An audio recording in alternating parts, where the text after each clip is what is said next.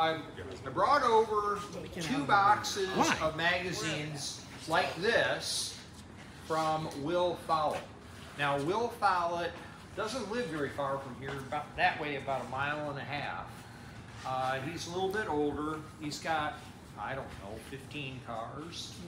And uh, he just got that Imperial Crown. And he says, Chuck, I got so many car books. I don't know what to do with them.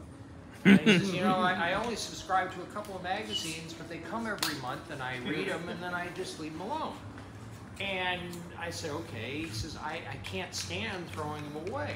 I said, all right. And we went back and forth a little bit. And what he suggested, which I thought was an interesting idea, he really wants them to be read and appreciated. You know, so if there's a magazine that you like, what he proposed was that you pay the kitty, where is he?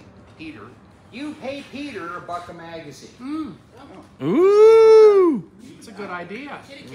So, you know, you're throw him a buck, and then we've got more money for stuffs. It's excellent idea. Because Perfect. Some of the stuffs we gotta buy are high dollar items, Mm-hmm. and it would be nice to have a dollar or two.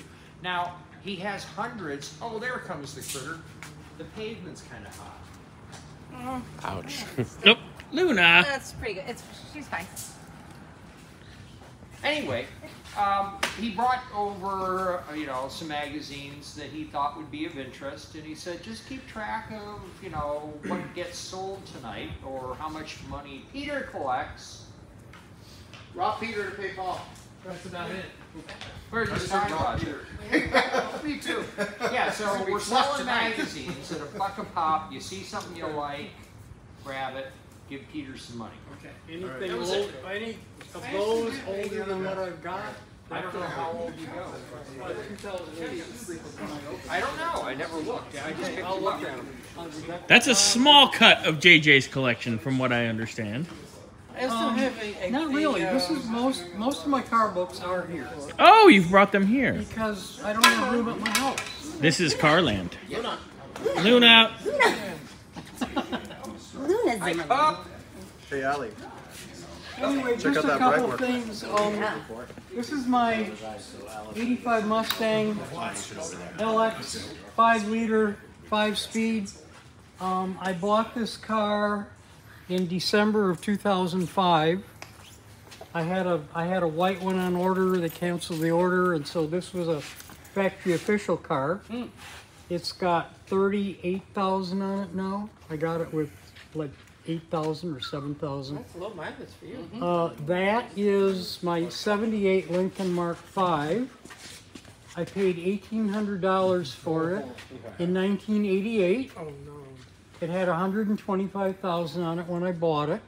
It's got 145 now. Um, the 2002 Thunderbird has just turned over 40,000. It's like 40,020. But somebody stole your seat. Yeah, seats are missing. No, they're right here. Oh, they're there. Oh, they should be there. They have to be re reworked. That's my 99 Jaguar XK8. Um, 2017 Fiat 124 Spider. I bought new. I went to Lowe's with you in that, and it was I was interference fit. Yeah, yeah. It was good. I was like, how do I fit in this? Oh, I don't. yeah. You don't fit in it. And of course, I think you all looked at the 1967 King Midget. My favorite. They favorite. built 6,000 of those between 1946 and 1967. About a thousand of them remain. And it's one cylinder, 14 horsepower. And it's a centrifugal clutch. Yes. Yeah. It's actually a torque converter. Okay. Basically. It's uh, it's a continuously variable transmission. As you speed up, the ratio of the pulleys change, Yep. and that's how it, you're going faster, but the engine's going the same speed. They originally advertised those. We're talking a little ad every month in Popular Mechanics. Yes, I remember. 50 miles per gallon, 50 miles per hour, 500 pounds, $500. Yep. So, Refresh my memory on when those first hit the market. Uh, 1946, but it wasn't that model. That is a Model 3. Okay. They built 6,000, about 5,000 of them all built in Athens, Ohio. I remember that. Um, uh, about 5,000 are the Model 3. I see. Okay.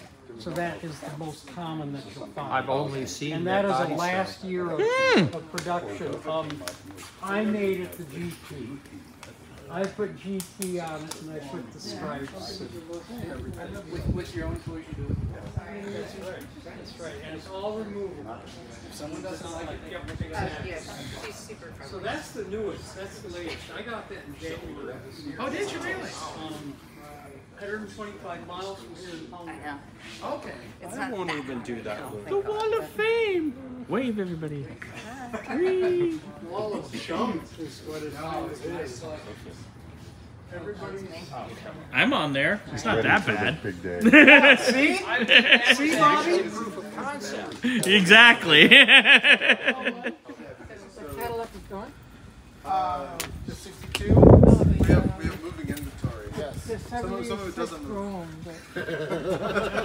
Just the Imperial. Start in that corner. So it's just we rented to Ross.